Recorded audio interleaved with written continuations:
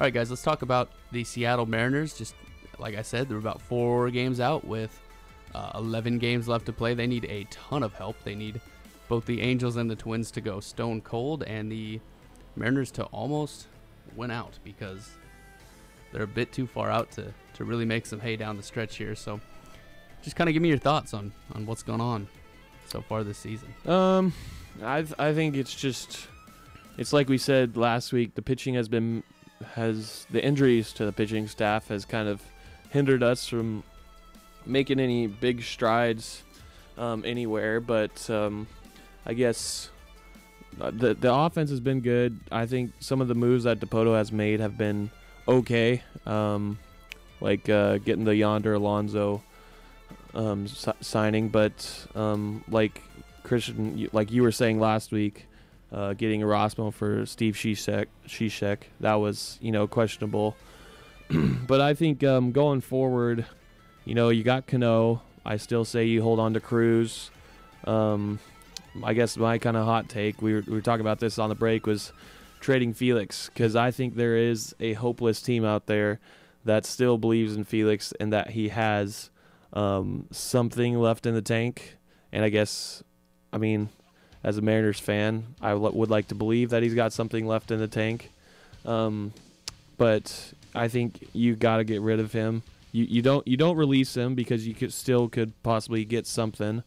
Um, You So- still owe him money too. Yeah. you really you can't just outright drop a player like the NFL. Like contracts are contracts, and I know. people owe that money. So And for that to happen, he'd have to waive his no trade clause too. Yeah, yeah, that's true. And whether he would be willing to waive the no trade clause or something, that would be, you know, we don't really know because we the Mariners have never really explored the option of trading him. But um, you know, I really like Mike Leake what he's done. Uh, I saw he's he's got a 2.13 ERA right now um, in his four starts with the Mariners, and we have him signed through um, 2020. So that could be, you know, that could be. I think he's got top of the rotation stuff. Um, we'll see. I, I still I can't believe in Paxton. He's he's been hurt way too much, but I do believe we bring him back next year. Um, you let Kuma go, um, but I think you got to re-sign Smyly too. What we saw in the World Baseball Classic was he went out and dominated there, but we never got to see that. Um, every pitcher I feel like in today's today's world goes through Tommy John, and they seem to come back fine.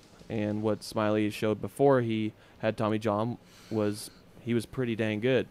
So we just need we need to address pitching, starting pitching in the off season, and um, I think we could maybe squeeze one more year out of Cano and Cruz and um, Seager. You know, he had kind of a downer year this year, but um, you know him. He's gonna bring that blue collar mentality and go into the off season and do a lot of work. So um, I don't know. That's kind of my, I guess, a summary on this season and what they should do heading forward into the off season. I know there is going to be moves. Knowing Dipoto. he is going to make some moves. Whether they be good or bad, we'll see. Seth, what do you, give me your thoughts real quick? I think this whole season's been a missed opportunity. The AL has not been very good this year. There's really only four teams running away with it the Indians, Red Sox, Astros, and Yankees.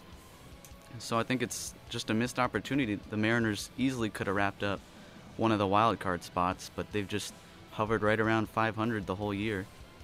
Yeah, I, I, I couldn't agree with that more. I think that there's absolutely no reason why this team should did what they did. I And mean, there's there's no reason the Twins and the Angels should be ahead of us in the standings. There's no way those rosters are better than ours. No, here's here's my thing. Okay, it, I really didn't get upset with what Jerry Dipoto has done with the roster until the last day of waiver trades. I think that was uh, August, last day of August anyway, when the Astros made a trade for Justin Verlander, and then in that same day, about the same hour, it seemed like the Angels went ahead and added Brandon Brandon Phillips and Justin Upton. Mm-hmm. All three of those moves are, are moves that make those teams significantly better than they were before they had those players. Mariners moves throughout the season, injuries or not, I don't really care. They were all just so lateral. You mentioned the Erasmo Ramirez for Steve Cishek. That's a lateral move. All you do is get a couple extra innings out of a pitcher. Erasmo's been good for the Mariners. but so had Steve Cishek been. Yeah. It's just, It's I mean, just lateral. Let's stay where we are. Just get a different guy to get a different guy is what it felt like. That that's kind of my take with what he has done throughout the season. I get that the injuries are an easy cop out, but to me, that's what they are an easy cop out. I mean, he didn't make the team any better with anything that he did. Mm-hmm. Mm-hmm. No, you're. I mean, yeah, you're definitely right. But he he has given the Mariners, you know, a couple quality starts. Uh, Um, he's been good, yeah. but I mean, it just why Yeah, I, I don't know. It just it, it was just kind of a meh trade. Like exactly? just something to stay in the news, um, something to give the Mariners newsworthy.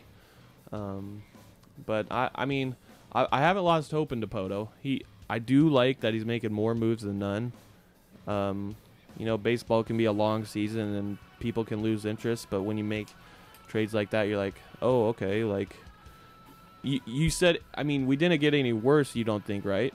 Didn't get any worse, but you didn't get any better. Yeah. So it's it the same be, thing with the Marco Gonzales for Tyler O'Neill. I mean, it didn't get any worse, didn't get any better. Mhm, You just mhm. got. Yeah. So it could be just something to move people around, and it could be just like a PR move to show that he is still trying. The Mariners are still trying. Maybe it's sending a message. If you're not getting any worse, then you're just you're staying the same. It could just be like, hey, we're still here. We're still trying. Something like that. Yeah, I, I, I get that, and I don't all at once. I mean, I, it's just, I don't know. I don't know how to describe it. I mean, why not just keep those peop players and see how they turn out? Yeah. That that's that's true You're too. basically doing that with what you get in return. Mm-hmm. Mm-hmm. So, what's happening? I I don't know. I mean, You're just spinning your wheels. yeah. He's made. I think He's they're- literally moved 185 players Mm-hmm. in two years. Yeah. That's a lot. That's I think a lot. they're just kind of stuck, really. He doesn't have any decent prospects to flip for some talented major league talent, so he's just kind of stuck in this cycle of trading average players for other mediocre players. There's not a whole lot he can do there. Mm-hmm. Yep. Totally. It is a tough deal